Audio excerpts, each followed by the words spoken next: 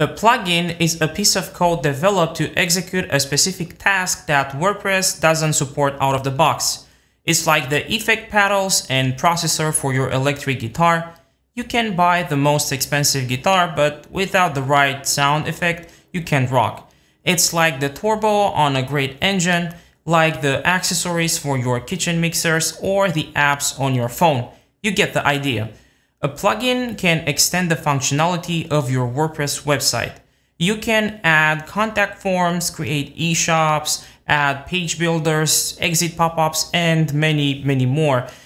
Basically, whatever you think of adding on your WordPress website, there is a good chance that you will find a plugin for it. Hi, my name is Adrian and I'm a web developer. I create informative videos and tutorials about WordPress, so if you want to learn more about this amazing platform, be sure to subscribe. In this video, I will talk about types of plugins, where to find plugins, and best practices when using plugins. So let's start. There are four types of plugins, free plugins, freemium plugins, paid plugins, and custom plugins. The free plugins are the ones you download and install on your WordPress website for free and they don't have a paid version.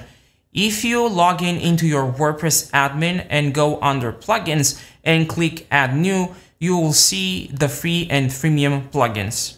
The freemium plugins are the ones that you can download for free from the WordPress repository, but they have a paid version too. These types of plugins will let you use some of its features for free, but if you want the full features, you have to pay for it.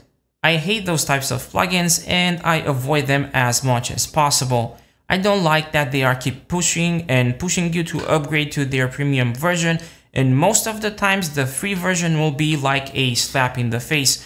All the good stuff comes with the premium version, and the free version is useless and you probably can find a free plugin that will be better than those freemium ones. That's not the case for all. There are good freemium plugins too. The paid plugins are the plugins that you pay for. You will not find those types of plugins in the WordPress repository. You can find them on ThemeForest, Template Monster, PremiumPlugins.com, and many other places. Just do a Google search about a WordPress plugin that does something that you want and you will probably find a premium plugin. There is something that I don't like about those plugins too. Recurring subscription model. Few years ago, you will buy it once and you can use it as long as you would like and get support for about a year or so. You could extend the support period by paying extra, but that was it. Now a lot of paid plugins are subscriptions. I get why a lot of developers are doing this, more stable income, but I don't think the value for the money is there, just saying.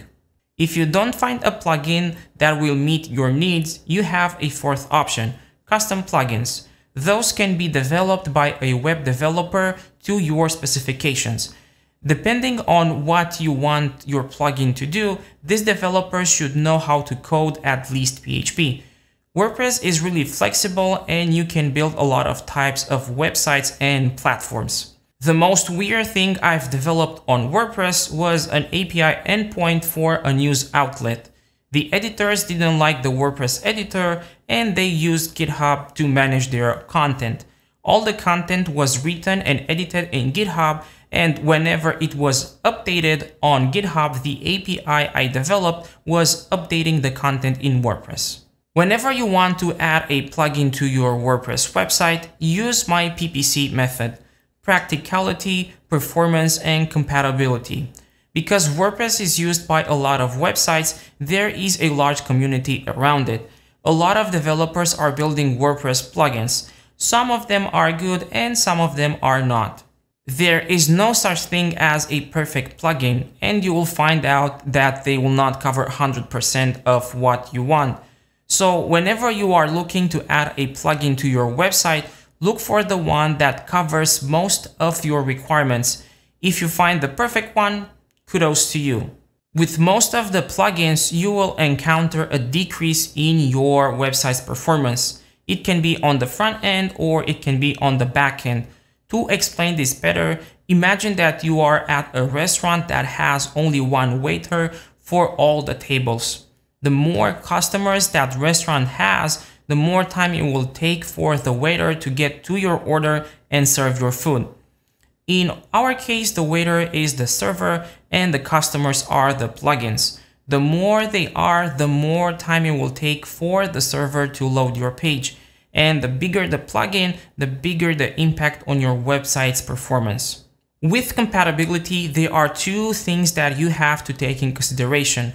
WordPress compatibility and compatibility between the plugin you want to install and the other themes and plugins.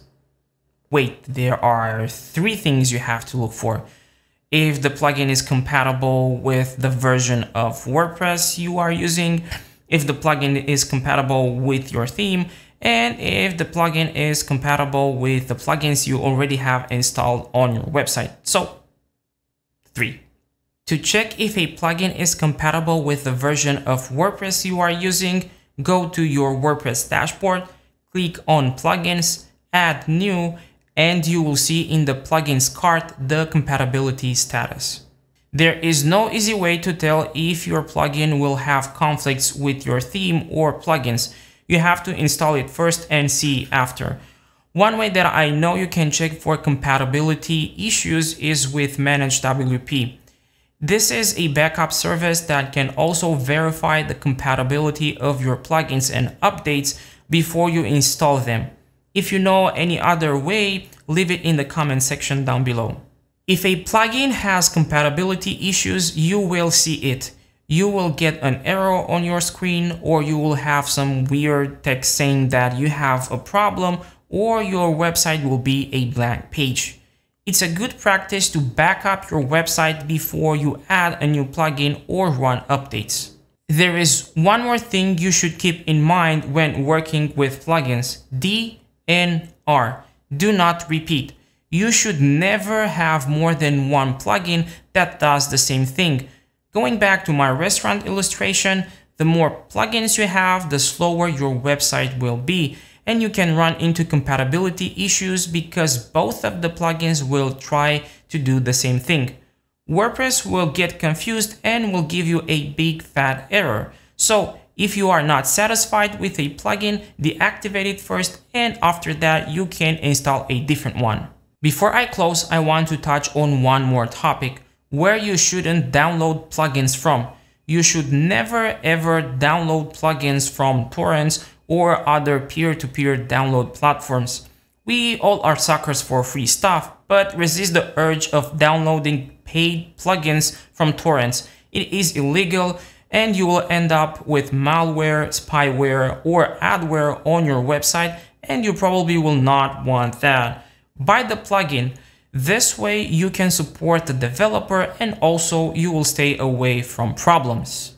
If you are getting free plugins, Always download them from the WordPress repository, not from random sources. I note that you can find plugins elsewhere, but unless you are a developer, you should never download them outside of WordPress. The plugins that are on WordPress repository are verified and up to date. Most likely a plugin from outside sources will not be up to date and you can end up with conflicts or with a broken website. Now you know more about WordPress plugins and you can tackle this challenge with more confidence. If you reach this far into this video, it means that you really like it, so hit the like button.